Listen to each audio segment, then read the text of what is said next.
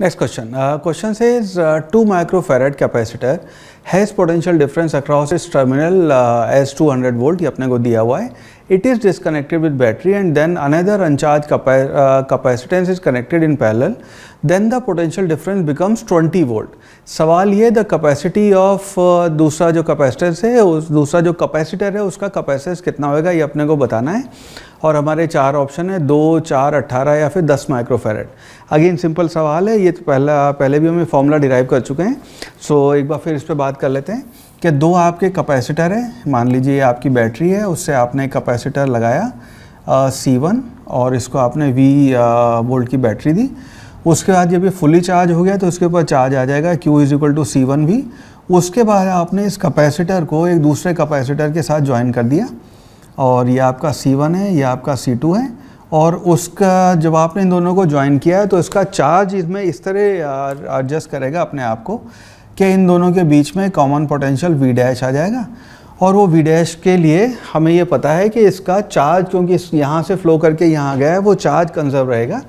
तो यहाँ पे आप लिख सकते हैं कि Q जो आएगा that will be equal to C one V dash plus C two V dash इसको आप लिख सकते हैं C one plus C two V dash और ये क्योंकि ये दोनों बराबर होंगे तो हम लिख सकते हैं C one V is equal to C one plus C two V dash which implies V one की जो आपकी वैल्यू आ जाएगी वो होगी C one V divided by C one plus C two या आपके वी की वैल्यू आ जाएगी। नाउ इस केस में आ, हमें डेटा दे रखा है। इस फॉर्मूले को आप डायरेक्ट याद भी रख सकते हैं।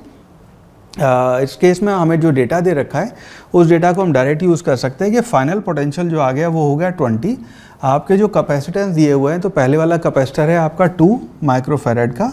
उसको हमने चार्ज किया हुआ था 200 वोल्ट पे।